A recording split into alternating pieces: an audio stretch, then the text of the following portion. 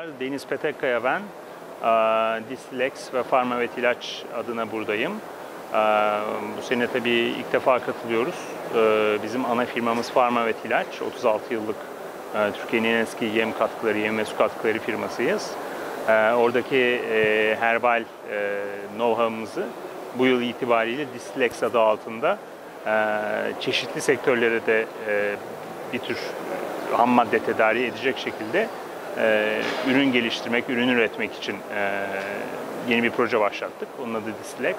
Bu yeni fabrikamızda, yeni tesislerimizde e, Türkiye'de yetişen, Türkiye'de endemik e, olan tıbbi ve ar- aromatik bitkilerin, çeşitli meyvelerin e, ve yine bitki, ağaç, sebzelerin dediğimiz e, yağları, e, toz halleri, e, uçucu yağları, ekstrakları, hatta kurutulmuş e, meyveler e, veya kurutulmuş sebzeler diye e, genişleyen bir ürün gamımız var.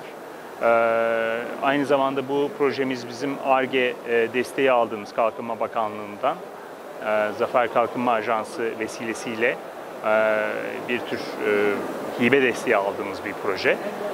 Salihli Organize Sanayi Bölgesi'nin içinde 5 dönümlük bir alana kurduğumuz fabrikamızda hem Türkiye'deki gıda, e, gıda katkıları, ilaç, kozmetik, e, yem e, sektörlerine hizmet vermek istiyoruz. Hem de dünyanın çeşitli alanlarına da buradan gitmek istiyoruz.